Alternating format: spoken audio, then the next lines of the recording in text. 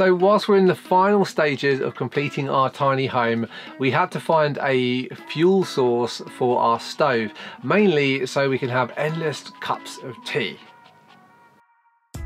Our main cooking source is going to be LPG or propane, and there are some downsides to this which we will discuss.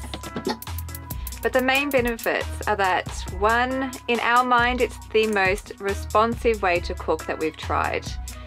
Two, if you keep your appliances clean, the flame is clean burning, efficient and very cheap compared to using gasoline or diesel. Three, we can easily and relatively safely store large amounts of fuel compared to say alcohol for an alcohol burner. That will help us extend our time off grid and on the move. And four, we should be able to use propane gas at high altitudes. We'll let you know how it performs in our travel series when we're up in the Himalaya mountains trying to brew a cup of tea at 20,000 feet. Okay, so one of the main downsides for us is actually finding propane in the first place. It can be quite hard to come by and sometimes when you do find a filling station it can have any number of connections because um, it's basically different in all different parts of the world. If you live and travel in the same geographical region and you're outside of Europe you will not have this problem so it's not an issue. But for us availability is a big problem. The other major downside is that carrying a explosive noxious gas is quite dangerous. Uh, we haven't died yet obviously but some people have so for those of you who aren't into um, having a gas like this on board there are other options which we will link below. We, however, have decided to go with propane, so we have a two burner sink stove combo. We have a very small form factor camper, so this is the most space saving design possible, which still gives us just enough room to cook our meals. Heads up, it's not legal to do gas work yourself in all countries, so check before you go the DIY route. Ben and I installed the propane gas system ourselves, but propane is no joke. The consequences of not doing it properly can literally be fatal, so we're completely ignoring British standards and doing it the safest way possible, the Australian way. In Britain, the standard is to use olive style compression fittings. In America and Australia, flare fittings are preferred. Now, flare fittings are much better at handling vibrations and, as such, are preferred in mobile home installations. Just remember, you will put the nut on before you make the flare fitting, right?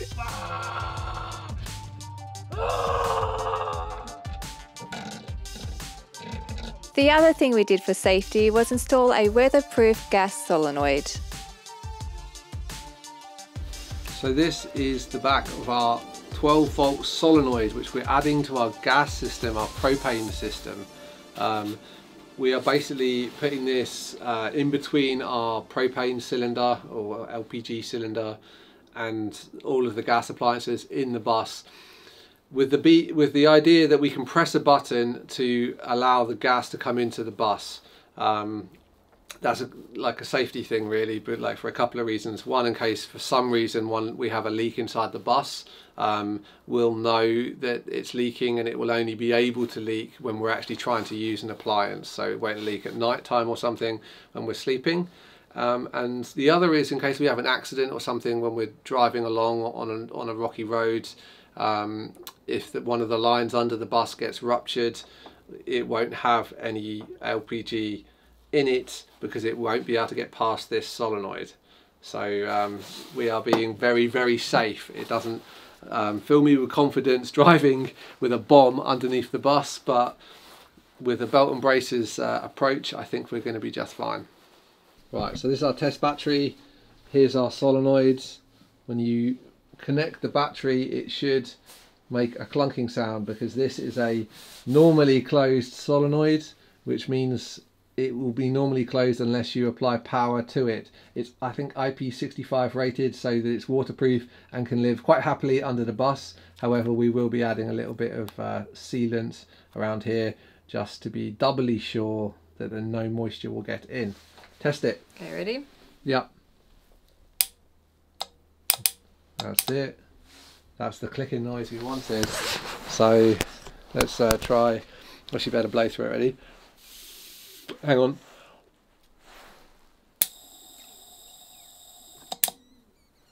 That's it. The solenoid does provide that extra peace of mind, and we're very happy that gas can't leak into our home when we're not expecting it. I will say that before we do any extended trips on rough roads, we always turn off our propane supply at the tank. Even with the correct tools for the job, bending this copper pipe to fit and follow the odd shape of our vehicle was quite challenging, and it took us most of the day. To adhere to the correct standards, we had to do it in one single piece from tank to appliance. If you're doing this too, you can make it easier by installing the gas lines before you install any furniture. Now we can fit this to the gas tank. The safety conscious Aussies are smart to say that there should be no gas line junctions inside the vehicle. That's mainly because you could have a leak there, and there should be a properly rated shut off valve before each appliance. I think this is the best bit of sculpting I've done in my life. Quite happy with this. Um, so we've got 3 eighths um, gas line uh, with some plastic kind of um, conduit, flexible conduit for protection in the areas where the gas lines run under the bus. Rubber would have been better, but we didn't have anything rubber. Plastic will do just fine. 3 eighths is possibly a little large, but um, it's future proof. We can uh, install additional appliances in the future should we need to. All of this copper pipe work under the van is necessary because we're moving our propane tank from inside to outside to free up living space in our combi. Honestly, that's pretty, it's almost professional, which is just as well. There's a serious lack of gas men in Jersey because, um, well, there's not a lot of gas in Jersey um, and there's not any certified camper van gas fitters, so we wouldn't be able to get certified anyway, so we may as well do it ourselves. So it's cost us about $50 to get all of the tools required to do this. Parts are a bit more than that, but um, yeah, we're cracking on. Full day's work and we're uncertified gas people. Hopefully we don't kill ourselves from this. What do you reckon, Leah? Feeling confident? That's not true, Australia. We're very certified gas fitters. The, Aussies aren't going to let us into Australia with this camper van unless this gas system was fitted by a authorised gas fitter. So we're going to have to get it certified at some point anyway, which hopefully is just a box ticking exercise. We are installing this whole system according to Australian standards, so um, they're very, very strict with, you know, you can only have 15 centimetres um, of spacing between um, very fancy stainless steel and rubber coated um, what's that called?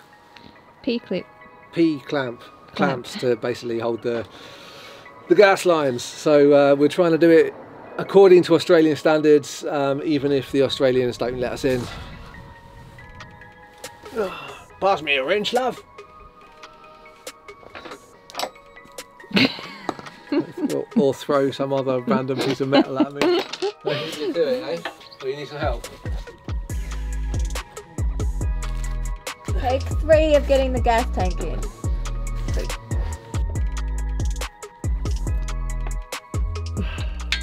Woohoo! We have a propane tank.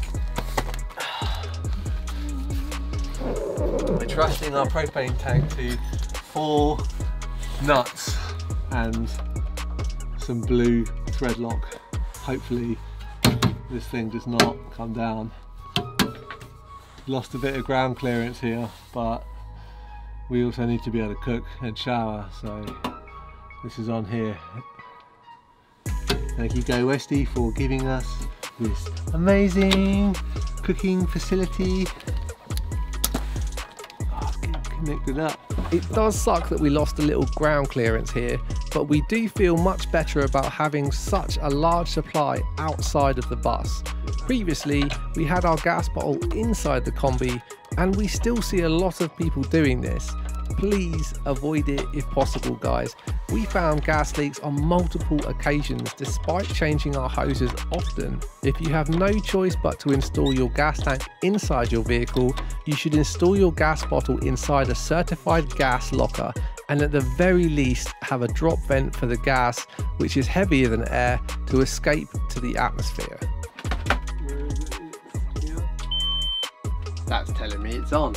We have also installed a low voltage um, wired to the 12 volt system gas detector which can basically detect nox noxious gases before they can take effect.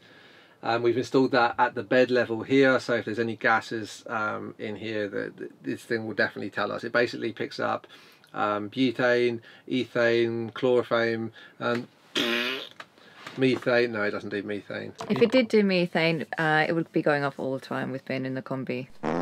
True, true story. Yeah, chloroform, um, butane, ethane, trichloroethane, whatever that is.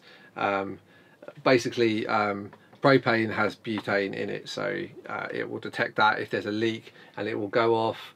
Um, and let us know that we should evacuate the vehicle. Also, um, unfortunately, in some places in Europe, it's been reported that people put gases through the vents of your camper van to knock you out and then rob you in your sleep. So having this alarm is also a double protection. If someone ever tried to do such a stealthy attack on us, we'd be prepared with our machete. There's a bunch of these devices, some of which run on battery power, some of which can be wired into your 12 volt or 20 volts system um, and are ideal for camper vans and anyone that lives in a camper van. So um, some of them can also detect carbon monoxide, which is pretty important. We'll link to that on our blog below so you can see the best options available.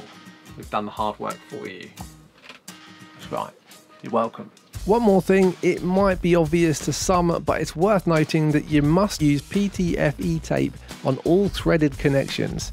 If it's a gas fitting, you'll need the thicker gas certified tape. Surprisingly, even with the tape, we found that we still had some initial leak issues in our water and gas system.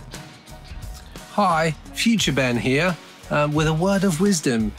We've been using PTFE tape, otherwise known as Teflon tape, on our fittings. However, they leaked or weeped rather, and um, quite frustrating, really. I've had a lot of success with Teflon tape in the past, but on these fittings, I don't know whether the tolerances are um, greater or something, but they did weep. So we are now putting both Teflon tape and liquid PTFE, also known as um, pipe dope, I believe, to plumbers. Um, so we're putting both of those on, and hopefully after this we'll have no more leaks. Um, I would recommend that you do the same. I guess the um, fittings in a vehicle are subject to more movement and vibrations than a fitting in a house, and perhaps that is why we've been having uh, problems. I highly recommend that you use both. So next up we're talking about our water system for extended off-grid travel. Stay tuned for that. If you want to check out our build series, that's linked over there. And if you want to know all the tips and hacks we have for van life and living off-grid on the move, check out our expert's guide to van life down there. See you next time guys.